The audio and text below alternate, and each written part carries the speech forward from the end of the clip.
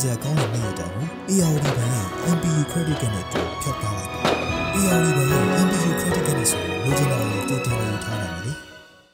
ပြည်ထောင်နိုင်ငံရဲ့ပြည်ထောင်ဝန်ကြီးထရီဇာမေဟာယာဒူကနေနှုတ်ထွက်ခဲ့တဲ့ဝန်ကြီးချုပ်ဒေးဗစ်ကင်မရွန်ရဲ့နေရာကိုဆက်ခံတဲ့အနေနဲ့ဇူလိုင်လ23ရက်နေ့မှာပြည်ထောင်နိုင်ငံရဲ့ဝန်ကြီးချုပ်ဖြစ်လာတော့မယ်လို့သိရပါတယ်။အနီးကပ်ဆုံးပြိုင်ဘက်ဖြစ်တဲ့စွမ်းရည်ဝန်ကြီးအန်ဒရီလက်ဆန်ဟာဝန်ကြီးချုပ်ယာဒူအတွက်ရှင်ပြိုင်မှုကနေရုတ်တရက်နှုတ်ထွက်ခဲ့တာကြောင့်ထရီဇာမေရဲ့အနိုင်ရလက်ကသေချာသွားခဲ့တာဖြစ်ပါတယ်။ ဒေးဗစ်ကင်မရွန်ကသူဟာပါလီမန်မှာဝန်ကြီးချုပ်အနေနဲ့မေးမြန်းမှုတွေကိုဖြေဆိုပြီးချိန်မှာအဲလစ်ဘတ်ပြည်မာကြီးထံတွားရောက်ပြီးယာဒူကနေတရားဝင်နှုတ်ထွက်ခွင့်တောင်းခံပြီးတာနဲ့မေဟာသူ့ရဲ့ယာဒူကိုဆက်ခံမှာဖြစ်တယ်လို့အတည်ပြုပြောကြားခဲ့ပါတယ်။ဗြိတိန်နိုင်ငံဟာဇွန်လ23ရက်နေ့မှာပြည်လုံးကျွတ်ဆန္ဒခံယူပွဲမှာ EU ကနေနှုတ်ထွက်မဲ့မဲအရေးအတွက်အသာရခဲ့တဲ့နောက်ပိုင်းအဆိုးအဝါဆုံးနိုင်ငံရေးမတည်ငြိမ်မှုတွေနဲ့ရင်ဆိုင်နေရတာဖြစ်ပါတယ်။အဲ့ဒီရလက်ကြောင့်ပဲဝန်ကြီးချုပ်ဒေးဗစ်ကင်မရွန်ဟာယာဒူကနေနှုတ်ထွက်ဖို့ကြေညာခဲ့တာကြောင့် အာဏာရကွန်ဆာဗေးတစ်ပါတီတွေမှာသူ့ရဲ့နေရာကိုဆက်ခံဖို့အပြိုင်အဆိုင်ကြိုးပမ်းမှုတွေထွက်ပေါ်လာခဲ့ပါတယ်။ဒါပေမဲ့လည်းအဆင့်ဆင့်မဲပေးရွေးချယ်မှုတွေမှာထရီဇာမေကထောက်ခံမဲ့အများဆုံးရရှိခဲ့သလိုအနီးကပ်ဆုံးပြိုင်ပွဲဖြစ်တဲ့လက်ဆန်ကလည်းပြိုင်ပွဲကနေနှုတ်ထွက်သွားခဲ့တာကြောင့်မေဟာဝန်ကြီးချုပ်ရာထူးကိုဆက်ခံဖို့တေချာသွားခဲ့တာဖြစ်ပါတယ်။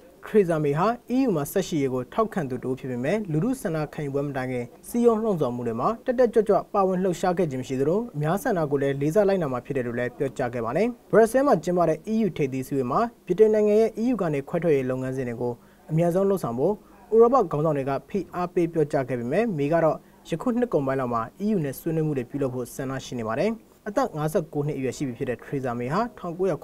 ခုနှစ်ကနေ1990အထိတာဝန်ထမ်းဆောင်ခဲ့တဲ့ Margaret Thatcher နောက်ပိုင်းပြည်ထောင်နိုင်ငံရဲ့ဒုတိယမြောက်အမျိုးသမီးဝန်ကြီးချုပ်ဖြစ်တယ်လို့လည်းသိရပါတယ်။